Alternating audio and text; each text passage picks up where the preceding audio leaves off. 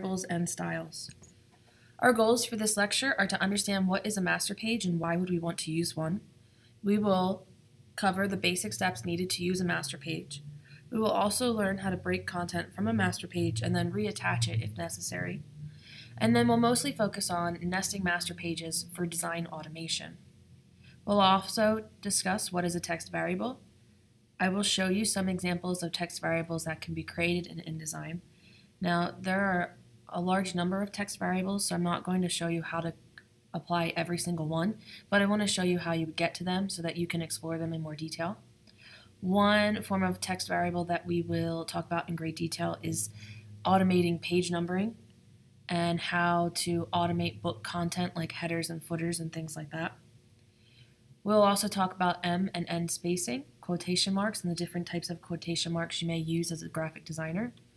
And then we'll talk about hyphenation options. So in uh, previous versions of this course or in the earlier versions of this course, so this is Advanced InDesign, so in the regular InDesign class, I may have showed you or your teacher may have showed you how to turn hyphenation on or off, but there are a number of different ways that you can automate the hyphenation of words. We'll also talk about styles. We will understand what styles are, we will cover the three basic types of styles that most people use in InDesign, which are object, paragraph, and character styles. However, there are five types of styles, and we'll discuss those as well. We'll talk about when should you use a master page versus a style, and how do you make that decision. We'll also talk about deciding when to use a character style versus a paragraph style, and we'll go through the basic steps necessary to create a style.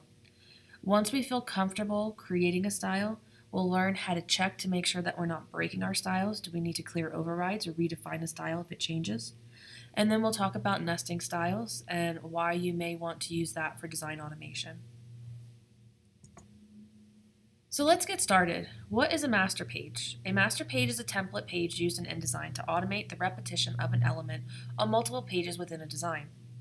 They can be used to repeat background images, page numbering, chapter title formatting, etc. It is important to note master pages should be used to repeat an element that is identical in shape, size, color, and position on multiple pages.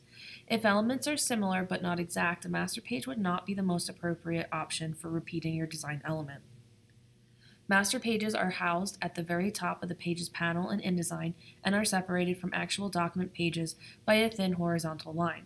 They do not count towards the total page count in a document. They are simply a template that can be linked to actual pages within the design.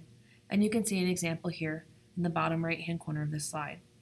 So if you decide that you have a master page, which is at the very top, and you put a circle on that master page, it will repeat on every page that that master page is linked to. So if we look at the first example here, the top pages would be the top of our pages panel and we have nothing on our master pages. But on the spreads within the design, we have designed a page that has a, a border at the bottom, a page that has angles at the bottom, uh, a page or a spread that has shading on the outsides, and a spread where you have shading on the top part of the pages. Now every one of these spreads is different, but there may be one unique element that repeats on every page, and that's where the master page comes into play. So in the second example here, we've added a circle, a repeating element that repeats in exactly the same place, size, color, etc., and I want it to be included on every single spread. So although the design of the pages is different, right, we have that shaded border at the bottom versus the top. We have it on the outsides versus on angles at the bottom. We still can have a repeating element that repeats in exactly the same place, in the same size, shape, color, etc.